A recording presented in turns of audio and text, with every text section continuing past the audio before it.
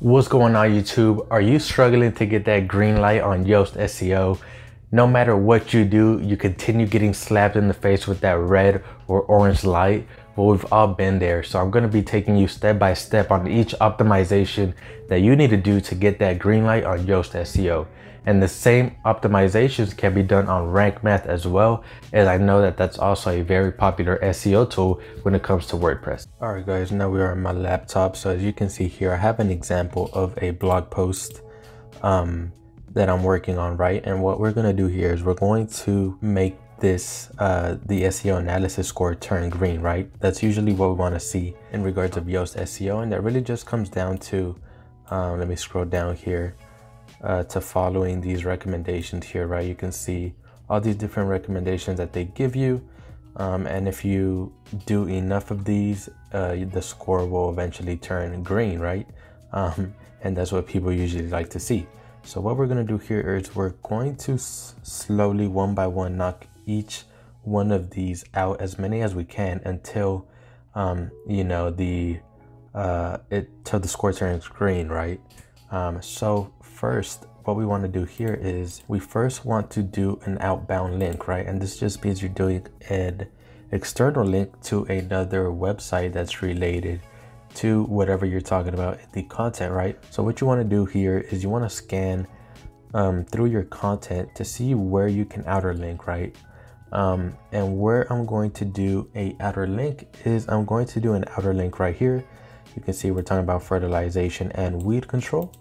And here, the uh, where I'm going to actually put the external link is under where it says high quality fertilizers. Um, so let me just grab my link. All right, guys, so this is the article that I'm going to be outer linking to. You can see here it's talking about the eight best fertilizers of 2020. You can see it's not in direct com competition with our blog. Our blog is mainly talking about lawn care versus landscaping. You know, what is the difference? Um, so it's not a direct competitor, but it's still related to, you know, some of the content that we're talking about. So you usually want to find other articles or blogs that are ranking highly um, that you can do an external link to, right? So what we want to do here is let's just copy the URL and then let's go over here and we simply are going to highlight high quality fertilizers and then let's put the link. Let's paste the link in there. And then if we scroll down, we should see, you can see here, it says outbound link. Good job. Um, so before we go any further, let me go ahead and put my focus keyword um, correctly. So you can see here it's very broad. It just says lawn care.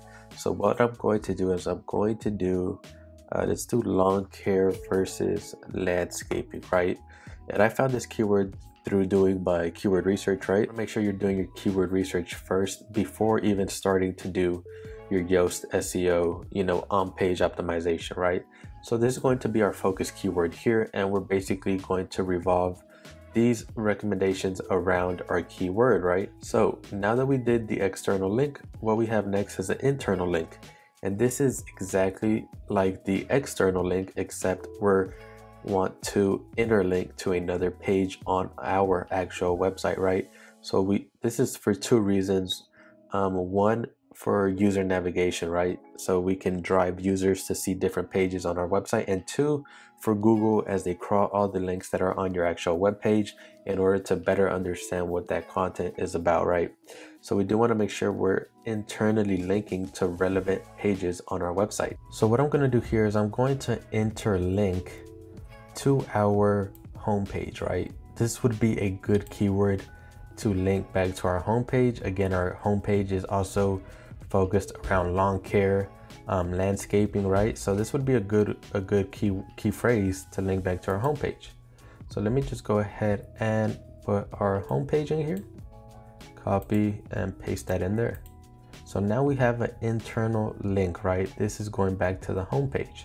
So if we scroll down again, we will I'm see, sorry, we'll see that the internal link is taken care of, right? So we're good to go on that. All right, guys, then we have the key phrase in the introduction, right? So this is another recommended on-page uh, optimization that you can do, right? Including the key phrase in the introduction, right? And usually want to do this in the first sentence or two. Um, so what I'm going to do is I'm going to find a place where I can actually uh, include our key phrase in the beginning of the paragraph. So let me see where could I include this? All right, guys, so I was able to include our key phrase in the beginning of our article, right? So you can see here, I added a sentence.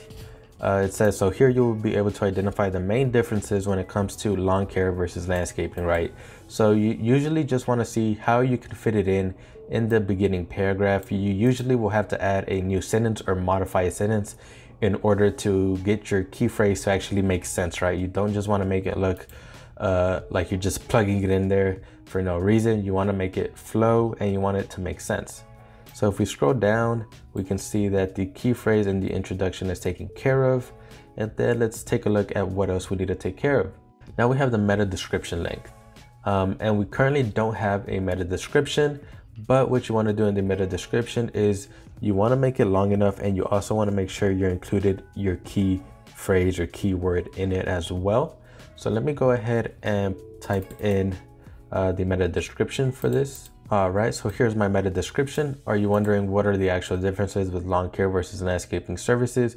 You can find all the differences in this article. Read more now. Usually want to add a call to action, you know, just to entice people to want to click um, on your article, right?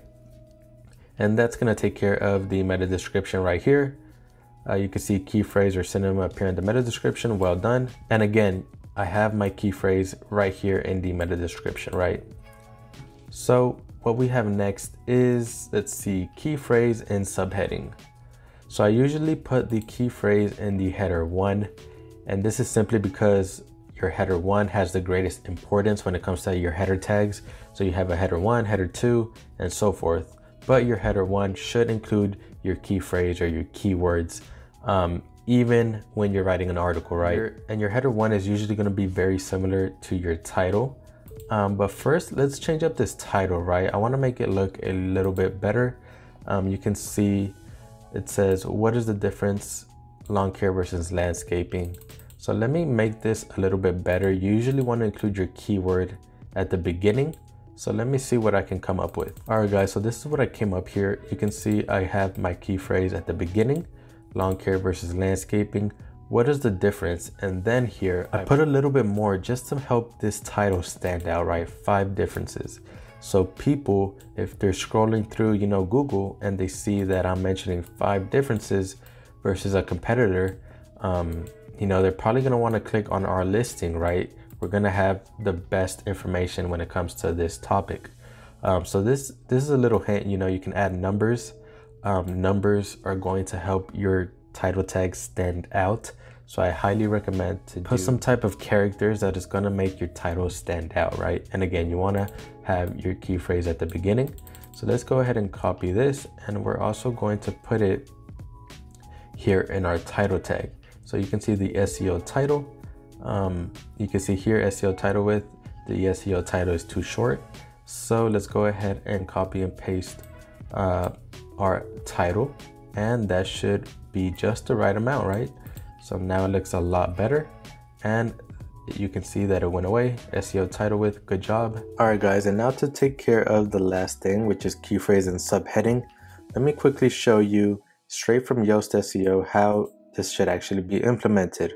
So you can see here, um, your main topic has the H1, and then your subtopic has a H2, and then whichever questions you're answering under your H2 should have a H3, right? These are more specific answers, right? Specific to the topic, um, which should be your H2. So this is kind of how you should structure um, your header tags. Um, and this is kind of what they recommend as well. So, so we have our header one up here. And now I'm going to repeat the header two right here. You can see it's a header two.